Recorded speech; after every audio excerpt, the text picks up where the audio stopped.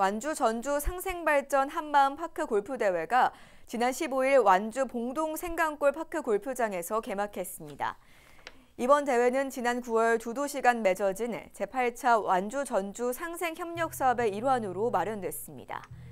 전북에서 활동하는 850여 명의 선수가 참여해 오는 18일까지 나흘간 진행된 가운데 16일까지는 예선전이, 17일 하루 휴식한 뒤 18일 결승전이 열렸습니다.